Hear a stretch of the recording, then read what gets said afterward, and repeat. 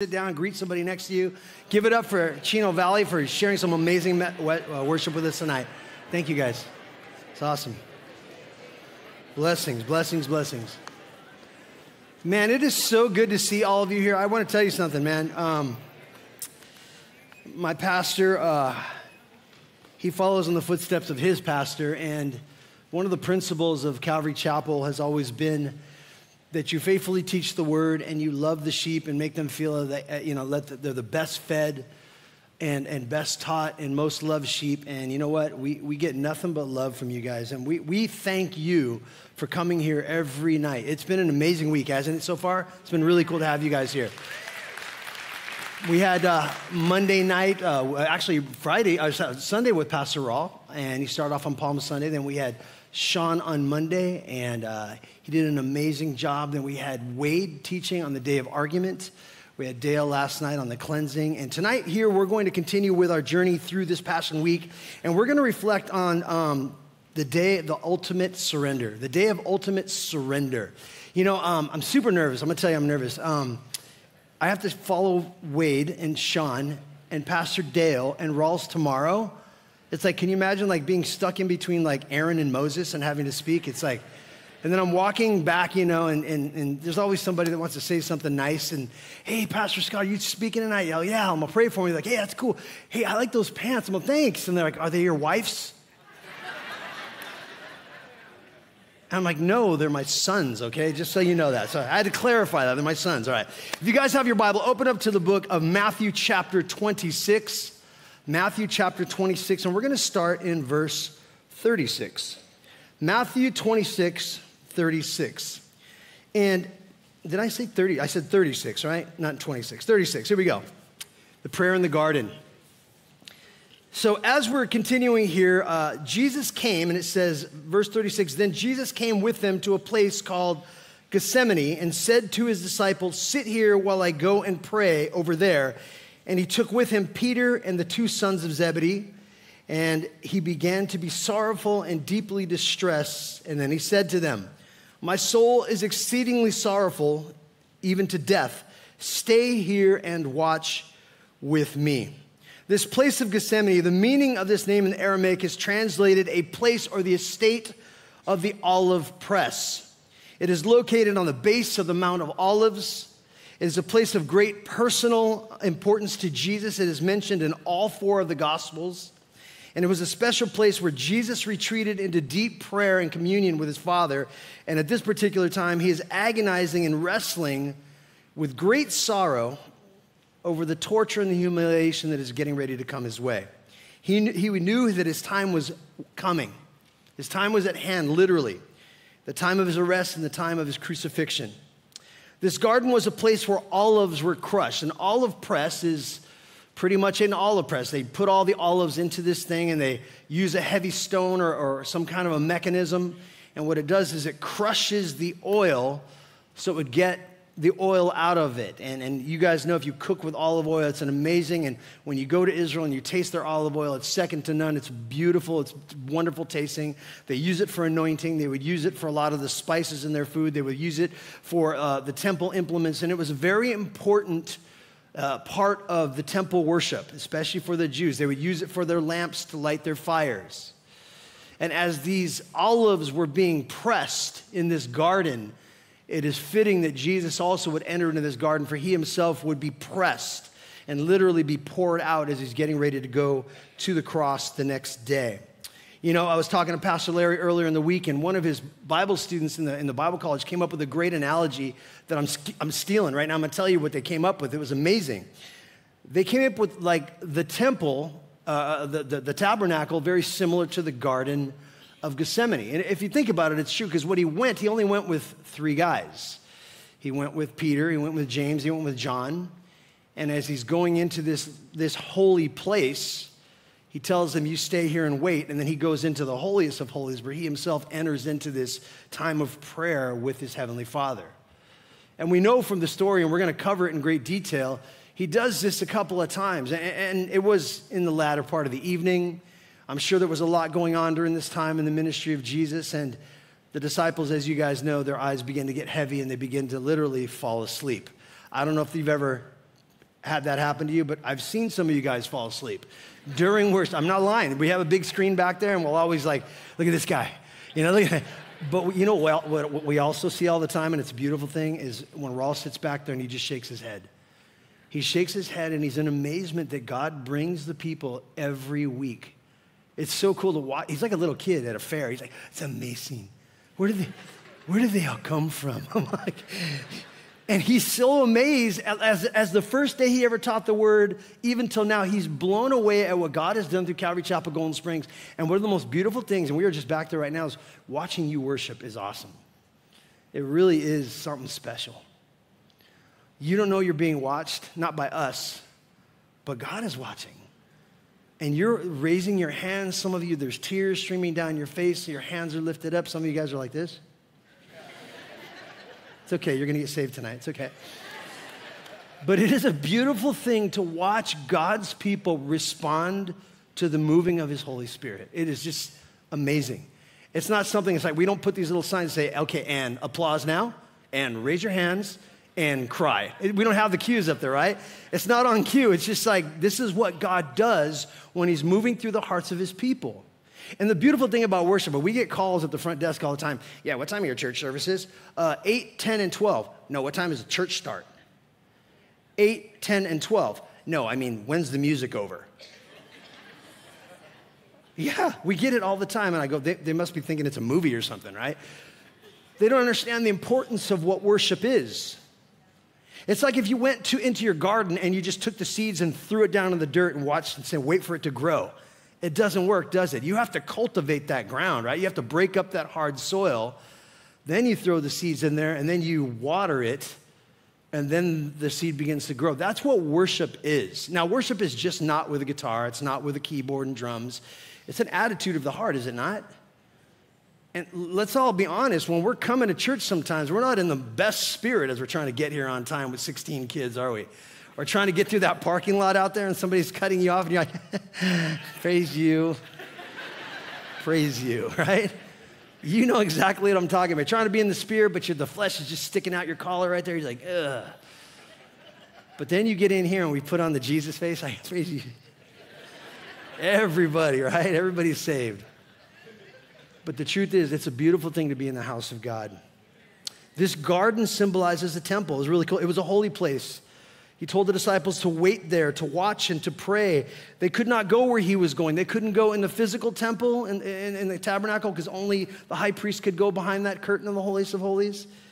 And it was a place where he was going to lay, literally lay down his life. He was getting ready to submit to one of the greatest feats that has ever been done. Only he could go into this holy place as the high priest and the perfect Lamb of God. Let's talk about his disciples. We already know Peter, right? Peter is a typology of all of us here right? The duality of Peter, the duality of man. He can be so spiritual and, like I said in the parking lot, be so carnal at the exact same time, right? Oh, God, it is good that we are here. I'm so glad that we're here. Let's build three tabernacles. Jesus, like, you're so dumb. Like, Jesus, I love you so much that even if all these guys betray you, not me, I'm super Peter. I will defend you. And Jesus looks at him, really? Before the rooster crows, you're going to deny me three times. Nah, not me. And you remember, and we're going to talk about time he gets out and he gets, tries to pull a Zorro on the guy and pulls the sword out and cuts the guy's ear off. The spiritual Peter, right? He is, he is the portrait of the church, the carnality and the spirituality all tied up into one. But I guarantee you, after this night, Peter changes. He's a different man. Read his epistles, read in the book of Acts. He never falls asleep in prayer again after this night. Matter of fact, all of his encouragements in the book of Acts and all through his epistles are always continuing in prayer, steadfast in prayer. Pray without ceasing, just like Paul would say. He understood the importance of it. And we're going to get into that in a minute. You had Peter, you had James and John, the two sons. This is Jesus' inner circle, his little posse. He had 12, but these are his three chosen ones. They were often with him in times, his little council. He brought them with him. He brought them there for confidence and for prayer and for support but what he got, I think, was a little bit of disappointment. But I, will tell you what, he still loved them. He didn't hold it against them. It wasn't like he walked over and he's praying and they go and just kick him. Get up, you dummies. It wasn't one of those. It was just like he knew. He knew their humanity. He knew their weaknesses. He himself was going through his own physical weaknesses, his own personal human fear and terror and agony. He understood that human side. And he even told them three times pray, watch with me, sit, stay, and I want you to pray that you do not enter into temptation. And what did he mean? In other words, the temptation was not at that moment, it was afterwards when all of them would flee from him. He knew that they would all flee away. And still, God had mercy on each one of them. Look what it says here. It says again in verse. Um, Verse 30, he says, again, he says, they, they came with him to a place called Gethsemane and said to the disciples, Sit here while I go and pray over there. And he took with him Peter and the two sons of Zebedee, and he began to be sorrowful and deeply distressed. And then he said to them, My soul is exceedingly sorrowful, even to death.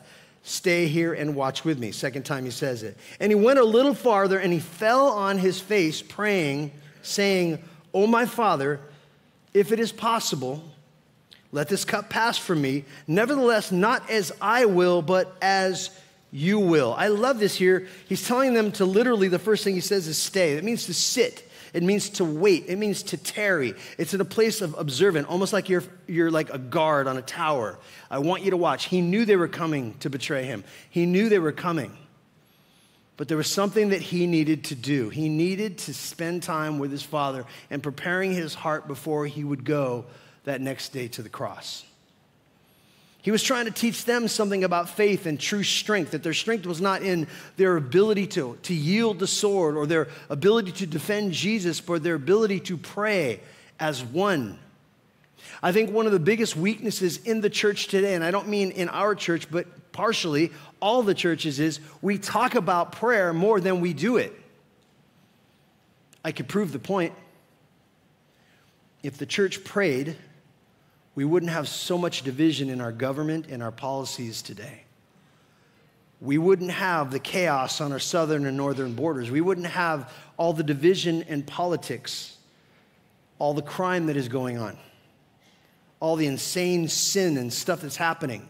We would not have that if the church prayed in unity. If the church prayed for changed lives if the, if the church prayed for revival, and I don't mean on a global level, I mean revival starts, and Raul came up with this phrase a long time where re- revival begins in the heart of one person at a time. As one person gets revived and renewed, then he spreads it to the next person and to the next person. And before you know it, an entire household, then an entire city, and then an entire town, entire country. And we can see a revival all over the place if we, like the Word of God says, if my people who are called by my name will turn from their wicked ways and pray, I will hear them from heaven and I will heal their land. And I, I, paraphrase that loosely, but you get the idea. He says, If my people who are supposed to be called by my name would do exactly what I tell them to do, would just seek my face, when you seek God's face, he begins to show you what you should and should not do, and you flee from sin, and God begins to do a new work in and through us. But it's not until we first learn to surrender our own will, our own flesh, our own desires, our own agenda. And when that happens, then we start to see real life, real victory. And we're going to get into that in a moment. Stay here, he says. Sit, wait, tarry. Then he says, watch. The word watch means to keep a vigil or to observe or to oversee. He knew they were coming. They weren't going to stop him from coming, but give him a little bit of warning. Just watch. And the last thing he says is to pray. The word prayer here, and there's, mul- there's multiple meanings to the word prayer. We're going to cover a few of them. In this particular, when he's talking about making a request, a petition, an appeal, or intercession, this is the kind of prayer that he wanted them. Pray for intercession. Pray for me. I'm going through it right now. I don't know if you pray for your pastor and pray for Sharon right now. They need your prayers more than ever before. They're in an interesting place in their life right now. And you know what? And God is beside them, and God is lifting them, and God is strengthening them, and God is directing them. But it doesn't make it any easier to be a pastor of a church this size, and, and the person that he loves the most on this earth is, is suffering from a sickness. And God has been her strength, and He has literally bore her up, and He has been her strength every day. But the truth is, she's suffering in so many ways, and she needs and covets your prayers. I pray that you would pray for your pastor and for his wife. They need it right now, especially for the future of the church. As the Lord continues to, continues to lead and guide him, he needs more wisdom now than ever before. And we need your prayers. We need your prayers on how we could effectively lift his hands and better serve you as the people of this church. That's what we live for. We live to serve you. That's what we do. We don't need a pat on the back. We don't need you know, more tithing. That's not what we need. We just need your prayers. Matter of fact, stop giving and start praying. We have more money than you could ever give. Just start praying more. Pray for your church. Pray for the country. Pray for your pastors. Pray for the leaders. Pray for people in office. Yes, pray for Gavin Newsom. Pray for that guy. Can't even do it without gritting my teeth. Anyway, here's the different types of prayer prayers of adoration, there's prayers of confession, prayers of supplication, which means like a humble request. Of course, intercession means when you're praying and you're standing in the gap for other people. There's lamentation when you're just you're just sorrowful in your mourning, when you're praying for something that's just broken your heart over sin or somebody that's going through something. That's called a lamentation. And of course, there's prayers of repentance and prayers of thanksgiving. Those are just a few. He warned them that the lack of vigilant prayer would lead them to temptation and eventually sin. I like what he says right here. He says, My soul, my soul is exceedingly sorrowful, even to death. Stay here and watch and pray. He's saying, This is what I'm going through. I need you to pray for me. And then later on, he literally says, He says it right here in verse, um, in verse 40. Then he came to the disciples and he found them sleeping. He said, Peter, what? Could you not watch with me for one hour? Watch and pray lest you enter into temptation. The spirit indeed is willing, but the flesh is weak. You know how often we use that, right? We use that at the gym all the time. Spirit's willing, brother, but the flesh is weak. You know, that's not that. Think about how often you want to get up and spend time with God. Be like, oh, but I'm so tired. Just push that snooze button one more time, right? The spirit is willing, but the flesh is weak. Do you believe that God puts it on your heart to spend time with Him? Yes. But the flesh has to be aligned with the spirit. And if it's not, you will do just the opposite. Somebody asked me, How do I know if I'm doing the will of God? I tell them all the time, It's super easy. Just do the opposite of what you want to do, and you'll be obeying God. Like, that's such wisdom. I'm all, No, that's just humanity. That's just humanity. You want to be a good kid? Obey your parents. No, that's hard. They asked me to do impossible things like clean, put things back. Yeah, right? Do the opposite of what you want, and you'll automatically be doing what God wants, and you will have peace. They're like, no, no, it can't be that easy. The Bible tells us that it is. Well, we make it so difficult. He says this, he says, he warned them again. In Colossians 4 2, he says, continue earnestly in prayer, being vigilant in it with thanksgiving. In 1 Thessalonians 5:17, he says, this is Paul saying, pray without ceasing. What does that mean to be praying without ceasing? Does it mean that we're always to be going around praying all the time? Yes, it actually is. Uh, I was at the gym yesterday. Saw this couple, these two girls, and I was just watching them. And the Lord put this one girl on my heart. Just, I don't know why God put this discernment in my heart that she had been through something difficult and something really heavy. I, she was wearing it. And I don't usually approach people at the gym because that's weird. Like, hey, what's your name? That's weird. I literally said, I go, hey, uh, I called her over and uh, said, hey, what's your name? Why? I know, I know this is weird. My name is Scott. And she tells me her name. And I said, look, I don't know if you understand this, but sometimes God puts things on a person's heart to do. And if you don't do it, you're obedient. And the Lord told me to pray for you. And I'm going to commit this week to pray for you. She looked at me like, whatever. Saw her again this morning. I didn't make eye contact. I didn't want her to beat me up. But anyway, I, I have been praying for her all week. I don't know. I was praying for her before the service. Like, Lord, I don't know where she's at, what she's going through, what she's doing. But Lord, touch her heart right now. Right now, wherever she's at. Whatever, whatever pain she's got inside, Lord, heal it and bring her to the cross. This is the week that you can do it. This is the day that you can do it. And God's just been putting people on my heart. We were at In-N-Out the other night. Me and my buddy just come from a, a campus, or not a study, was a study at a hospital and noticed the family walk in all dressed in black. And uh, their faces were kind of long. And I walked up to them and said, Hey, did you guys just come from a funeral? And they said, Yeah. I said, Do you mind if I pray for you? And they're like, they looked at me like we are at an In N Out burger, you know? And they said, please. And they just gathered over the whole family and just started praying over this family and watching the grandmother, you know, tears and the young man who lost. And it was just one of those moments, yeah? One of the girls that worked at In-N-Out, she was bringing the food to our table, and me and my buddy were talking, and I just, do you know Jesus? And she looked at me and she's like, you know what? I used to. And I said, well, what got in the way? And she looked at me and she said, life. And I said, life got in the way. I'm the, the, the, the, the way, the truth, and the life got in the way of your life. I'm all, something got in the way. I go, hey. And I just looked her straight in the eyes. I said, Jesus loves you. He has a plan for your life. He's never left you or forsaken you. You left him, but he never left you. And he wants you to come back to him. And she just was looking at me and tears welling up in her eyes, and she had to go back to work. And it was just those moments, you know what I'm saying, where you got to take advantage of those moments. Because you don't know at that moment that you're sharing that God puts that on your heart that that's the moment of surrender for that person. My buddy went to a, we were at a hospital, like I said, a, a retirement convalescent hospital. 14 elderly people gave their life to the Lord in one day. One day. Yeah, clap.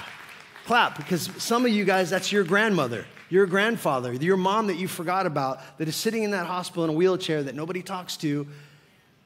And God put it on my friend's heart to go over and start this study over there, and they opened the door to us he got 14 people saved in one day, two of the nurses, and the next day, four more.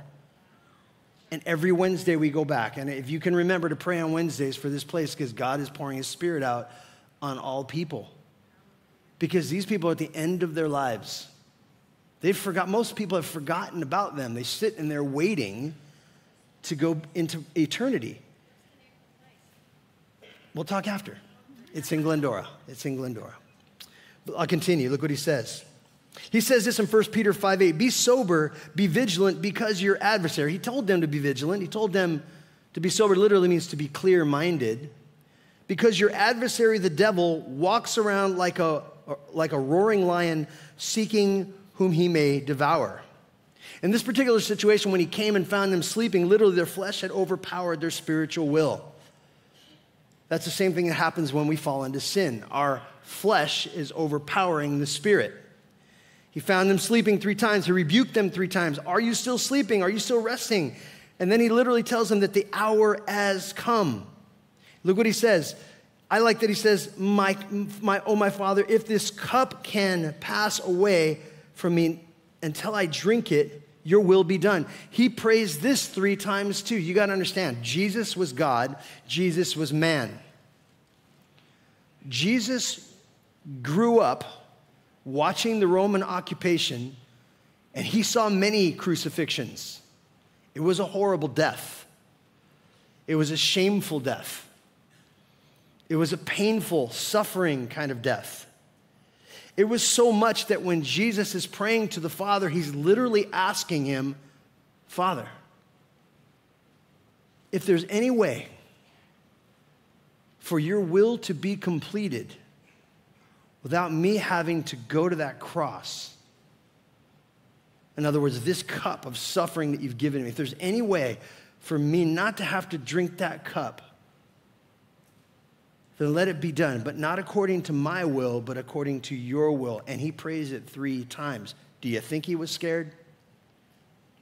Do you think he understood where he was getting ready to go? He did. I don't think we do half the time. You see the, the, the Passion of the Christ, the movie, and you're like, wow, that was pretty gnarly. They said that they cut a half hour of, of film off of that because it was so graphic. It, it got a, a rated R already. Mel Gibson wanted to put more in there. He wanted to fully embrace the brutality of the crucifixion and what led up to it. But the, the producer said, people can't handle that. If you've ever watched it, it is already graphic. The book of Isaiah tells us how bad it was. It says that his visage, his image, in other words, his human form, was so beat up. The word marred literally means like when you take a piece of clay and then you just beat the piece of clay until it turns into something that you can't even recognize anymore. His image was so marred that you could not recognize him as a man. I used to be an EMT and a paramedic, and I would watch coming up on accident scenes and I would see some of the most horrible things. One of the very first calls I ever went to was I had firefighters hand me a piece of cardboard and have me scoop up remains off of the freeway. You don't get off, you don't get over that kind of thing, seeing that kind of stuff.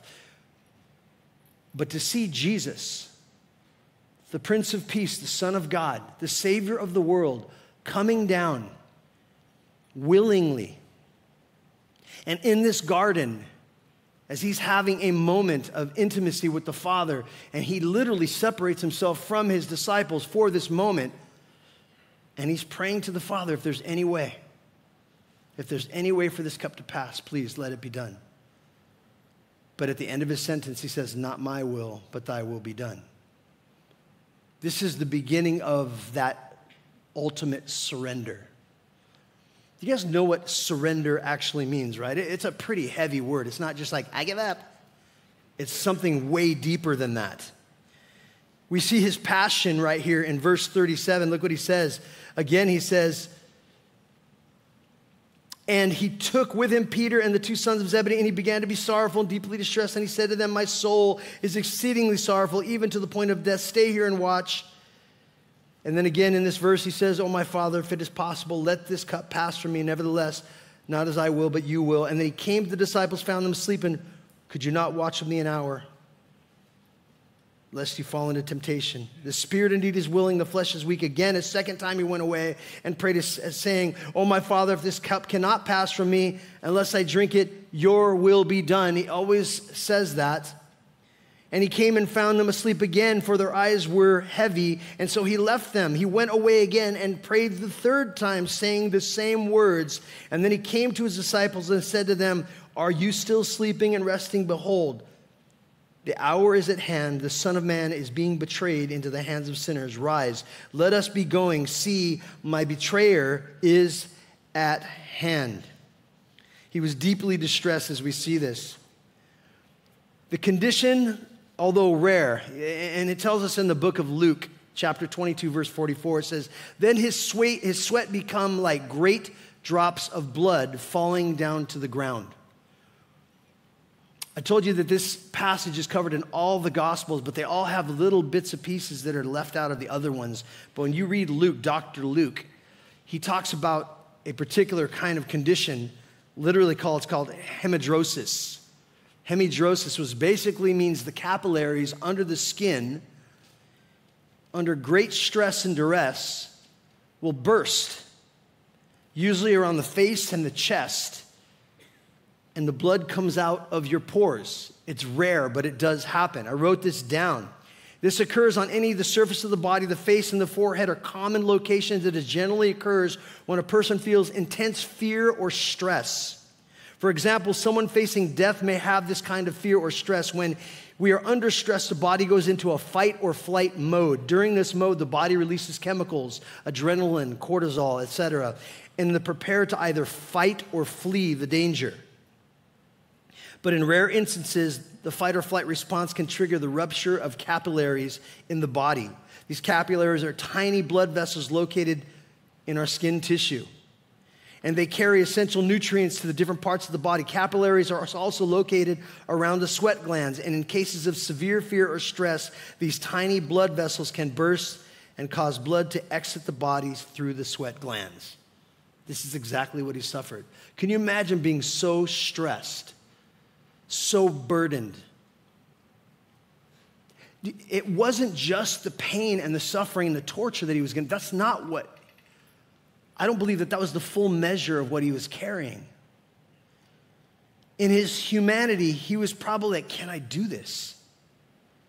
Can I go through with this? I know that this is the reason why you sent me, Father. I know this is why I've come. I've come to set the captives free. I know this. But God, I'm scared. Father, I'm scared. And aren't we scared sometimes when God is calling us to face difficult situations? Do you know how scared it is to let go of an addiction that has controlled your life? Do you know how hard it is to walk away from a relationship when that relationship has become toxic and abusive and dangerous? Do you know how hard it is to cut the umbilical cord on a child when that child becomes unattainable. When you literally have to put that child on the altar and say, God, I can no longer help him. I can no longer help her. You've got to do this, God. When you've got to step out of situations and circumstances that you know are going to be difficult, leave a perfectly good job for God knows what reason, but God is telling you to leave, and you don't even have anything lined up, and God's telling you go. Those great sacrifices, those great things of surrender, when God is saying, Do you trust me with your husband? Do you trust me with your wife? Stop preaching, start praying, and watch me do my work. Do you trust me with your children? Put them on the altar. All your preaching, all you're asking, that's not going to save them. My Holy Spirit will save them. Surrender them to me. Do you know how hard that is to let go? You all know. To let go of pet sins, to let go of things that you don't think are controlling you. You think you have a hand on it. It could be a little bottle of pills that your doctor prescribes to you every week, and you find yourself a slave to it. And at the last pill, you can't wait to get a refill. You know what I'm talking about. Or when no one's around, you sneak off after work on the way home and hit that liquor store just to get a quick one before you go home. You know what I'm talking about. Or sneak off to go to the computer and just look up some garbage, hoping no one's going to find you. God's telling you to surrender. It's not impossible. It is difficult because your flesh loves it. Your flesh likes it. He's saying, let go of it. His prayer, oh my Father, you notice here, when he says, oh my Father, he's talking about his relational intimacy with the Father. It shows you how intimate he was with the Father. If it is possible, he's recognizing God's sovereignty. I know you can do anything. If it's possible, you can change this, but let this cup pass me. His compassionate humanity, he felt as a human, I don't want to deal with this. I don't want to go through this. If, there's, if this cup can pass away, then please let it be. And if I have to drink it, then okay. He asked his father three, three times that if there was any other way than the cross, then please allow that. If there was any other way for God's salvation plan to be met without the pain and the shame and the burden of the cross, at this moment it was a clash of his human emotion and fear met by his divine omniscience and foreknowledge, his selfless submission to the will of his loving Father, all crashing together in one, one moment in time that will set him on that lonely road to Calvary. Think about that. But then you see the surrender, nevertheless. After it's all said and done, not, nevertheless, not as I will, but as you will, your will be done. This is where we get the absolute surrender where he surrenders his will. Think about what he already surrendered. He was at the right hand of the Father, co creator in heaven, leaves heaven, comes down in the form of man. And the Bible says, did not consider it robbery to be, to be like that, right? To be like God. And yet he comes down in the form of man, a servant of man, blasphemed, beaten, hated all of the above. He left everything that was precious to him to come down to save which is most precious to his Father you. He came down and did what no one else could. He surrendered his life so that you could have eternal life. Think about it. That's what sets Christians apart from every other faith and religion on this, on this planet. No one sacrifices themselves and then takes up their life again. And he does that to show them that he has power not only of this earth and of life and of death, but he has the power to give life to whoever chooses. Whoever he chooses and whomever chooses him, he gives them eternal life. His testing, this testing brought God's assistance and strength, as we know this because in Luke 22 43 it says, And then an angel appeared to him from heaven, strengthening him as he prayed. The Bible says in Luke that an angel came down and began to strengthen him. The same angel that when he battled with Satan in the wilderness for 40 days and 40 nights after he hadn't eaten, remember? And after he had rebuked Satan three times with the word of God, the Bible says, and then angels came and ministered to him his humanity. God sent his powerful angels down there to come and minister to Jesus. Here, Jesus is completely relinquishing all control into the trusting hands of his loving Father in an example that we should strive to follow. What exactly is surrender? Surrender means to completely relinquish the possession or control of another, to submit to the power, the will, the authority, and the control of another. All things, just I give up. Jesus, having first surrendered himself to God, is then able to give himself sacrificially for God and for others. This example of surrender is seen in the single minded devotion of Jesus, who came to do the will of the one who sent him and to complete his work. John 4 34, he said, And Jesus said to them, My food is to do the will of him who sent me and to finish his work. The word finish, he, he, he says three times in his messages I did not come to destroy, but to fulfill or to finish it. He says it here. He also says it on the cross. It is, yeah. And what came at the end of that word, finished? Period. Couldn't add to it, couldn't take it away. Everything that he said and everything he did was completed and fulfilled. And then he adds a little cherry on top, then he resurrects. Just a little extra dramatization. Oh, yeah, I laid my life down, but then I'm going to take it up again so that where I will be, you will be also. Death can't hold me down, death can't hold you down. I told you I'm going away to prepare a place in my Father's house so that where I go, you will be also. I wasn't lying. In my Father's house, there are many mansions, and I go to prepare a place for you. That's a beautiful thing. I love this.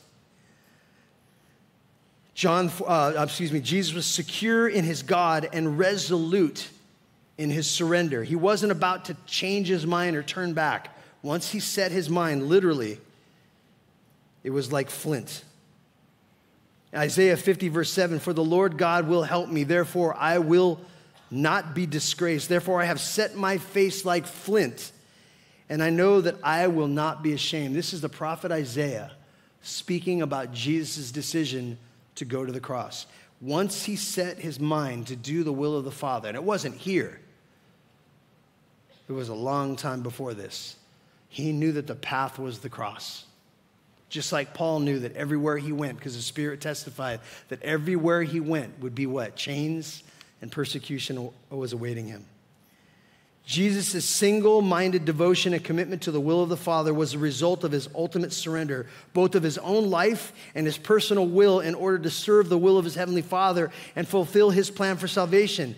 Without such surrender, there could be no sacrifice for our sins and therefore no place for redemption. Complete surrender always precedes the greatest sacrifice. Remember that complete surrender always precedes the greatest sacrifice. Surrender is the cause, and sacrifice is the effect. You cannot have the fruit without the root. You can't have one without the other.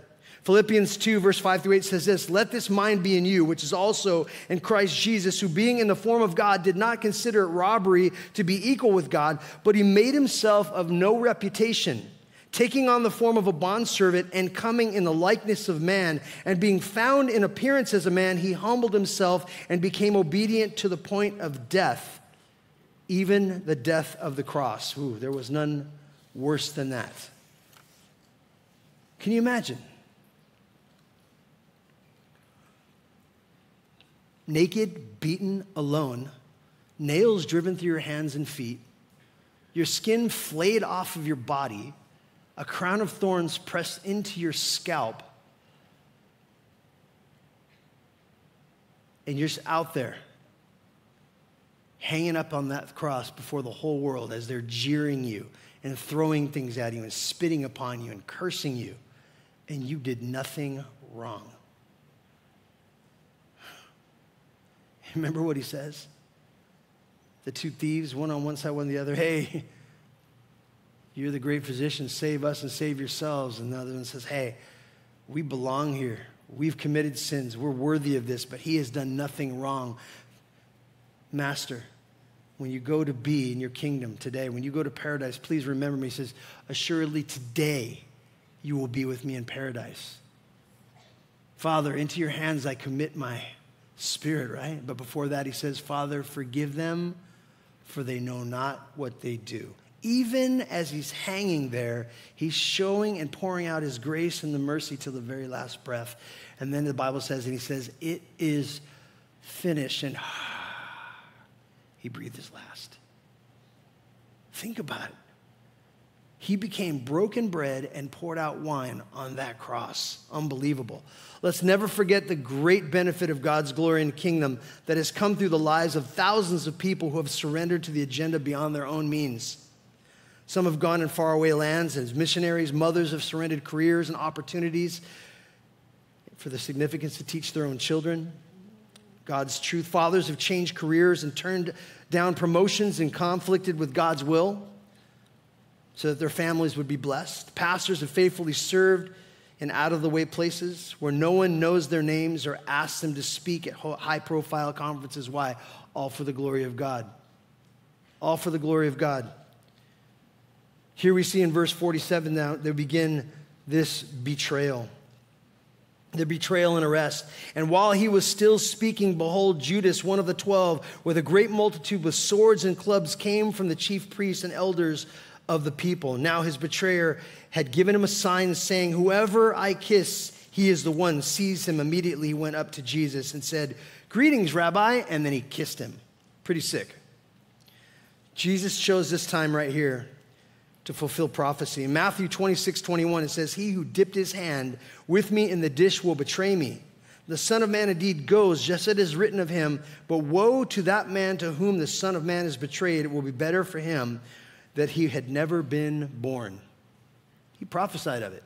He wasn't the only one. In Psalm 41 9, even my own familiar friend in whom I trusted, who ate my bread, has lifted up his heel. Literally, literally means he acted as a traitor against me. Psalm 55, 12 and 14, for it is not an enemy who reproaches me. If it was, then I could bear it. Nor is it one who hates me, who has exalted himself against me, then I could hide from him. But verse 13 says, But it was you, a man my equal, my companion, my acquaintance. We took sweet counsel together. Think about it. He spent time, three years with Jesus in his earthly ministry, watching the signs and the miracles and all the cool things, and yet he turned and betrayed Jesus. He says, and walked in the house of God in the throng. He was the treasurer and the thief. We know this because John 12, 5, 6 says why this was a fragrant oil. Remember? Somebody gave this fragrant oil, broke it down all over, was anointing Jesus, and he looks at him and says, What a waste. And literally says this. Why was this fragrant oil not sold for 300 denarii and given to the poor? This he said not that he cared for the poor, but because he was a thief and he had the money box and he used to take what was put in it. This is the kind of man that he was. He was possessed by Satan. We know this in Luke 22, verse 3. It says that when he made a deal, right before he went to go make a deal to betray Jesus, the Bible says that Satan entered into him and he went out and did what he did. He was a possessed man. And then he sold his soul, literally, for 30. He sold out his soul and he sold Jesus out for 30 pieces of silver. In Matthew uh, 26, 15, what are you willing to give me if I deliver him into you, to your hand? And they counted out to him 30 pieces of silver. So from that time, he sought opportunity to betray him. They came with a multitude with swords and clubs. They, he said, Whom are you seeking? They said, Jesus of Nazareth says, I am he. Whom? They all fell back. He said that phrase, I am. Just like in the book of Exodus, in that authority in which he spoke they were just all thrown back. In Luke 22, it says, We see that Satan entered into Judas right before he went to conspire. 30 pieces of silver. 30 pieces was the price paid for a master of a slave if when his slave was gored by an ox. Exodus chapter 31 talks about it. In order to compensate a master for a slave's death and burial, they were to be written 30 pieces of silver to cover the cost.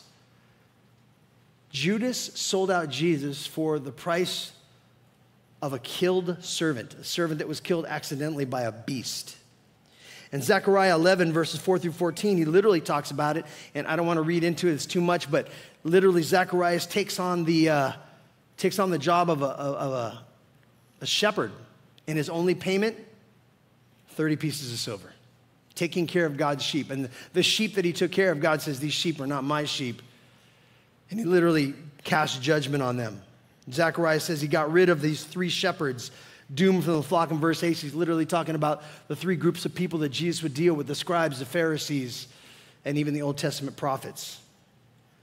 These were all done away with after Jesus came on the scene. No longer were the prophets and the scribes and the Pharisees, they weren't the authority anymore. Jesus was the main authority. Then we see here Jesus and this mob. He responds to him, Friend, why have you come? Jesus says, Are you betraying the Son of Man? And Luke 20 says, Are you betraying the Son of Man with a kiss? He looks at him, even this. Do you permit even this? Think about it. This is, this is interesting. Jesus is standing in the garden praying for his disciples, praying for the Father, praying for the strength to go on. And his servant comes in and uses the greatest act of affection to perform the greatest act of betrayal with a kiss. And he looks at him and he says, You're going to betray me with a kiss? And this was a common theme when you had a teacher, or someone you loved, you, it was a, a sign of respect. And he used that as a sign to betray Jesus. And as soon as they kissed him, they laid hands on him and took him away. But not before Peter takes out his sword and he whacks one of the priest's servants in the right ear and literally lops his ear off. And he looks at Peter and says, Would you permit this? Put your sword back in its sheath. He picks up the ear, he puts it back on the man, and he literally heals him right there in the garden.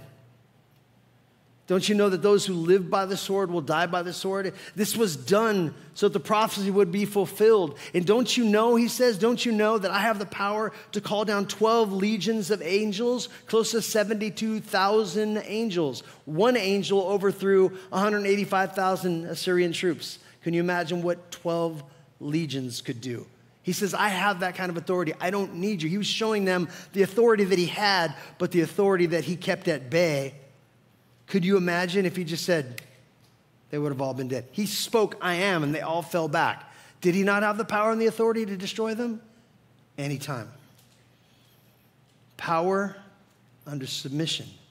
He brought his authority and his power, surrendered and submitted, just like his will, to the Father to go to the cross. That is an example for each one of us. Put your sword in its place, for all who take the sword will perish by the sword. He reminds them who's in power. And then in verse 55 through 56, look what he says.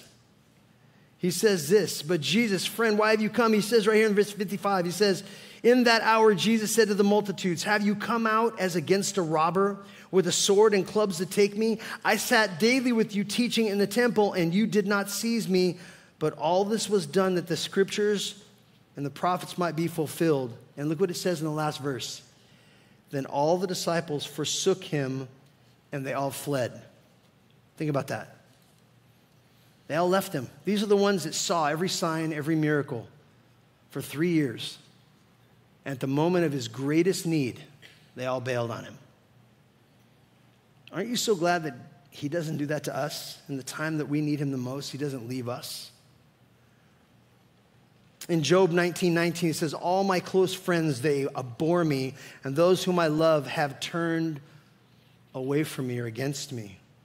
In the book Absolute Surrender by Andrew Murray, and I highly suggest if you ever buy a new book, it's an old book that's in reprint. It's called Absolute Surrender by Andrew Murray. Look what it says. The condition for obtaining God's full blessing is absolute surrender to God. Forsake all, I ask you, say, to remember that the disciples were men who had forsaken all to follow Jesus. The Lord Jesus sent to a fisherman and said to a fisherman, Leave your net behind and follow me. To another man, he said, Leave your position as a tax collector and come follow me. And they did it. They left those things behind and followed Jesus. They later could say with the mouth of Peter that we have forsaken all and followed thee in Matthew chapter 19. They left their homes, their families, their goods, their names. Men mocked them and laughed at them. Men called them the disciples of Jesus. And when he despised and hated, they were hated alongside of him. They identified themselves with him and gave themselves up entirely to follow him. This is the first step in being filled with the Holy Spirit. We must forsake all to follow Christ.